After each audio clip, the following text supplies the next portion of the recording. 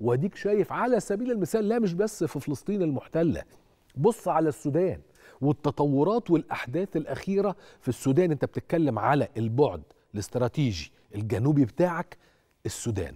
معانا على التليفون حتى نطلع برضو على هذا الوضع دكتور هبة البشبيشي الأستاذ بكلية الدراسات الإفريقية بجامعة القاهرة.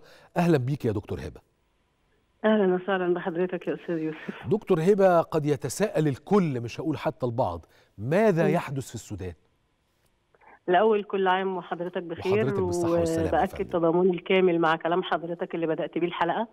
وعايزه أقول إن فعلا الأوضاع حوالينا مقلقة جدا مقلقة للغاية. يعني الجهات الثلاثة فيهم آه، حالات حرب ليبيا السودان آه، غزة. وبالتالي المصريين عليهم الانتباه تماما لأنفسهم. يعني خليني طيب أبدأ مع حضرتك بأزمة السودان. الحقيقة كان في تنديد النهارده من مجلس الأمن بزياده وتيرة العنف في السودان بصورة غير مسبوقة. ودي يعني بالنسبة لنا على الأقل أزمة كبيرة من أزمات يعني الأزمات الإنسانية الملحة اللي هي لابد من تدخل المجتمع الدولي آه، يعني لإطفاء صفة الإنسانية على الأزمة علشان نقدر ندخل مساعدات ونساعد الناس اللي هناك.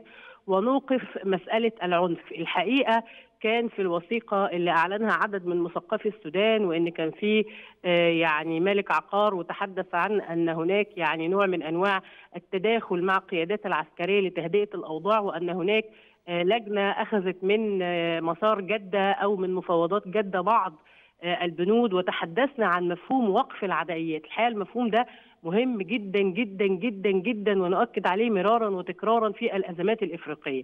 الحقيقة استدعاء القبلية في أي عنف بيظهر في إفريقيا آه، بيتسبب في مقتل الآلاف، فقط. انت تقتل على هويتك، لا شيء أكثر ولا أقل.